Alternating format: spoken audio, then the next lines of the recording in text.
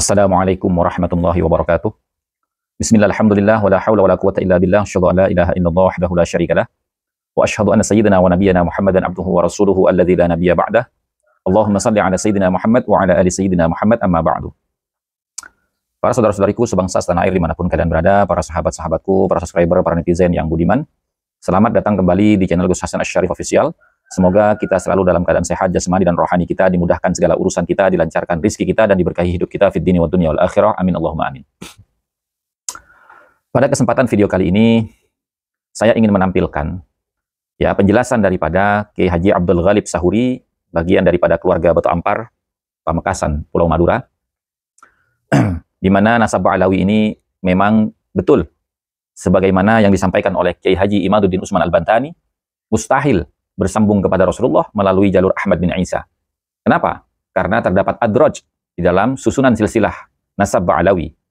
Di mana adraj ini menyebabkan nasab itu statusnya adalah dhanniyud dilalah alal maksud. Sementara di dalam mengesahkan sebuah nasab, landasannya adalah qat'iyud dilalah alal maksud. Ya. Apa itu dhanniyud dilalah alal maksud?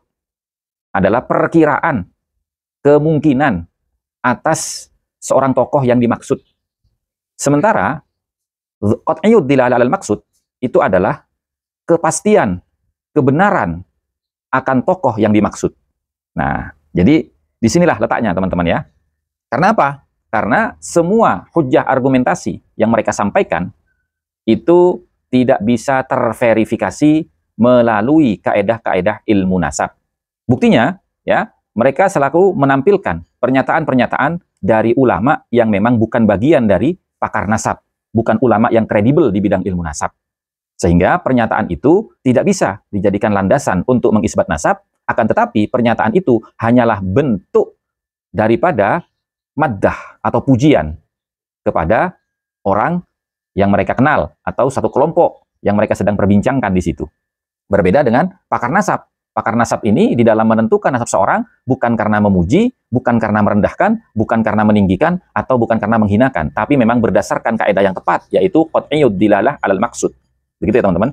Lain daripada itu, Ki Abdul Ghalib akan menjelaskan tentang beberapa ajaran-ajaran akidah dari kalangan Ba'alawi ini memang terindikasi menyesatkan, sesat dan menyesatkan. Untuk lebih jelasnya, mari kita simak bersama-sama pemaparan dari Ki Haji Abdul Ghalib Sahuri keluarga dari Batu Ampar, Pamekasan, Madura. Assalamualaikum, saudara.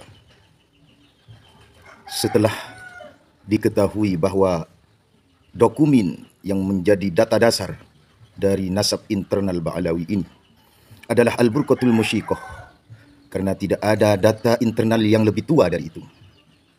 Maka jelas di sana terdapat adraj memasukkan data palsu sehingga menyebabkan zanniyud dilal alal maksud yang mustahil bisa diisbat nasabnya. Baik melalui turuk isbatin nasab kalau terjadi adraj batal atau pakai metode-metode yang lain. Karena hadis maudhu apabila dikuatkan setelah itu oleh seribu ulama pun yang meriwayatkan hadis maudhu maka tidak akan merubah kedudukan hadis itu bahwa hadis itu palsu. Itulah al-adraj.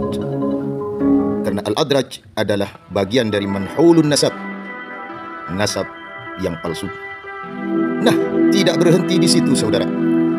Setelah Allah menampakkan kepalsuan nasab mereka, Allah juga menampakkan kepalsuan halu karomah mereka.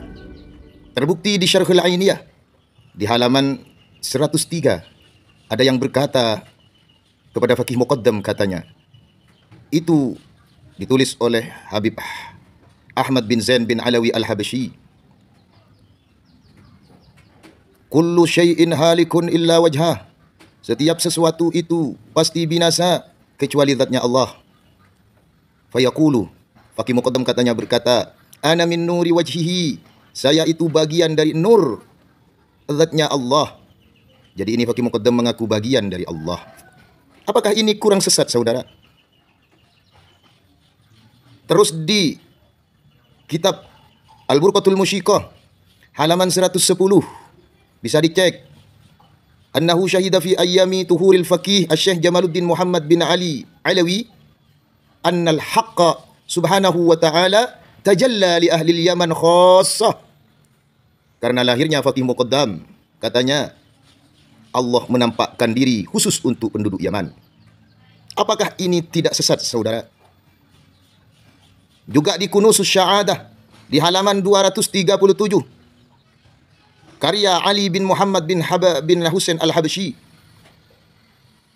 mengatakan bagian dari karamah Al-Habib Ahmad katanya kana idza ra'a imra'atan fit tariq fi sadiha kalau ketemu cewek perempuan di jalan diperas-peras susunya sampai mincret hikmahnya katanya menghilangkan syahwat zina apakah ini tidak sesat saudara di Burqatul Musyiqah halaman 105 katanya yahduruhal malaikah wal anbiya wa rijalil ghaib wal khidir wal awliya was salihun bi ajsamihim wal amwatu bi arwahihim mereka semua datang ke majlisnya Fakih Muqaddam mengaji.